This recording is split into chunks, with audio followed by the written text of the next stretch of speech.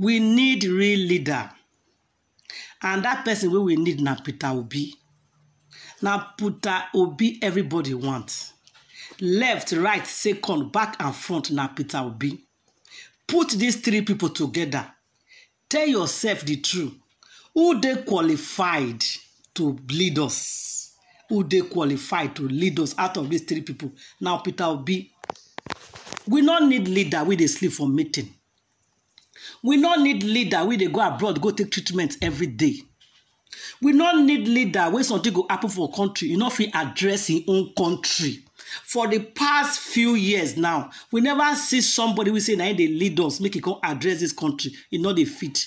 For the past how many years now we never see our leader come out one day say something happen for so so place. Our our our our our leader reach there. E no dey. We no need leader wey be say dem go wake am up to come address the country. E no dey there we no need leader. Wey be say one hand and one leg dey pain. We no need leader. Wey be say e shake.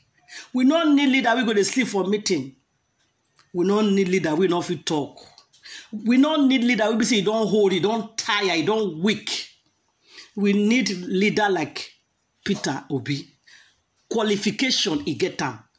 E fit defend the country anywhere you go. If you like na midnight dem can wake him up. He can stand up wear him trouser and run go there we no need leader wey don tire.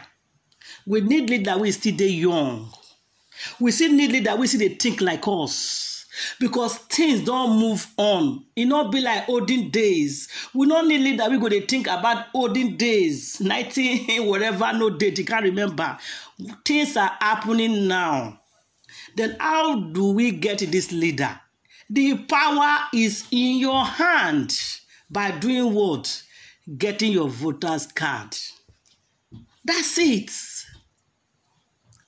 If youth all youth for nigeria stand up today and vote for the right person vote for peter obi things will change. You know. Stop deceiving yourself. Not take because of somebody get money e buy a way out and enter.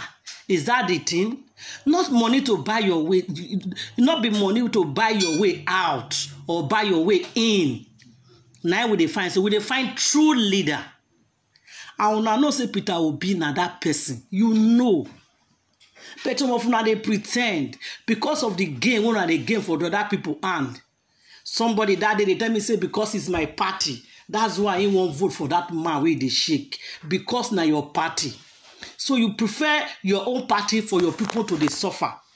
This man talk am say he know say this person no dey qualified but na that party him dey him go vote for that person. But for him mind he know say na peter obi suppose to win. Lis ten to nigerians people and lis ten to how nigerians dey reason. When i dey hear that man interview i was shocked for him to say that that i will love peter obi to win but because this person is for my own party and then i want my party to win because when my party win i will get something so how much are you going to get and sell your children future youths of nigerians do yourself a favour get yourself voters card and vote pvc simple.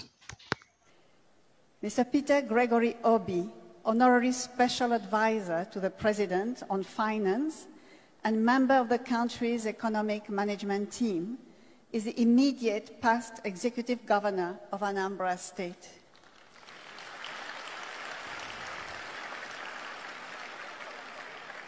Mr. Obi attended Christ the King College, Onitsha, and graduated from the University of Nigeria, Nsukka, with a bachelor's degree in philosophy.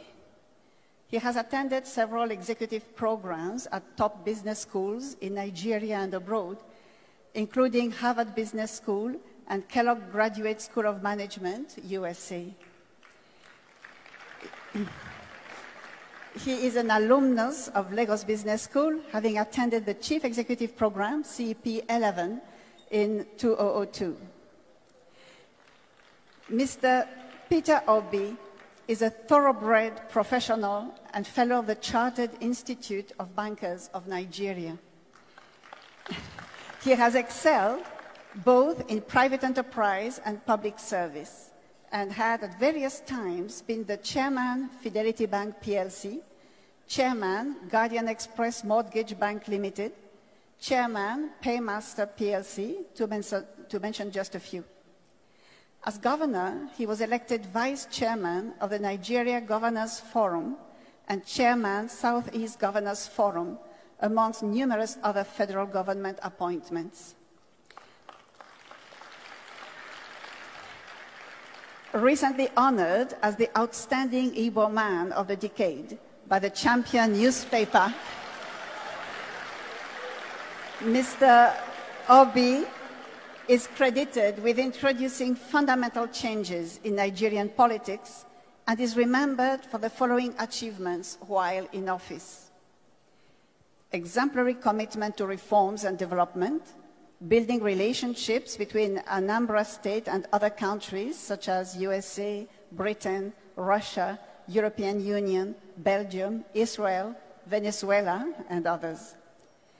Attracted big Fortune 500 companies like SAB Miller, Distell, and GlaxoSmithKline, Nemeth Pharmaceuticals, etc., to Anambra State. Under him, Anambra State was rated the least indebted state in Nigeria by the Debt Management Office. Anambra was adjudged by the Federal Ministry of Works the state with the best network of roads in the country, having asphalted over 800 kilometers of roads. He reopened long closed schools and returned missionary schools to the original owners with a grant of 6 billion naira for their rehabilitation distributing over 30,000 computers, internet access, Microsoft academies to over 500 schools. Anambra State students, for the first time, achieved first place nationwide in the 2013 WAEC and NECO Common Entrance examinations. It provided 700 buses to secondary schools in the state and provided boreholes to over 300 schools. He also built classroom blocks in all the 177 communities in the state. He ensured the payment of over 35 billion naira in outstanding pensions and gratuities in the state since 1999. Before he became governor, no single health institution was accredited in the state. But under his administration, 10 schools of nursing, midwifery, and medical technology, as well as two hospitals, were accredited.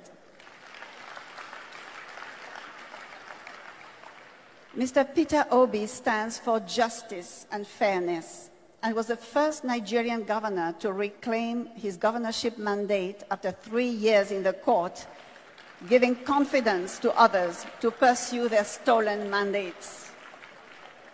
He is also the first governor in Anambra State to serve for two terms since democratic rule in 1979. Perhaps Mr. Peter Obi's greatest legacy in office was his financial prudence. He funded development projects without borrowing money from financial institutions nor raising bonds. And he handed over to his successor, Mr. Willie Obiano, also an alumnus of LBS, the sum of 75 billion naira in the form of cash local foreign investments. In a recent testimony, the Anglican Bishop of the Diocese of Amichi, Right Reverend E. O. Ikeakor, spoke glowingly of Mr. Peter Obi while advising his successor, Mr. Willie Obiano, to toe his checkered steps. Mr. Obi is a native of Amatutu village, Agulu, Anaocha, LGA of Anambra State, and he's married to Margaret with two children for contributing in an outstanding way to the development of Anambra State and Nigeria, for contributing in building an oasis of sanity and expanding the ideas of what is possible and what can be done in the society, setting new standards in the process, and for reflecting the ideals of the school both in private and public service, Mr. Peter Gregory Obi is hereby being honored with the Lagos Business School Distinguished Alumni Award.